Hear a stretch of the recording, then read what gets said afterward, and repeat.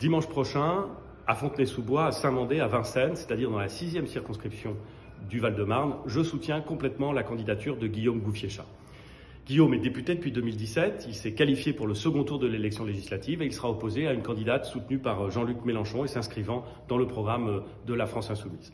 Alors, dimanche, croyez-moi, le bon choix, c'est Guillaume Gouffiéchat. Votez pour lui et faites voter pour lui.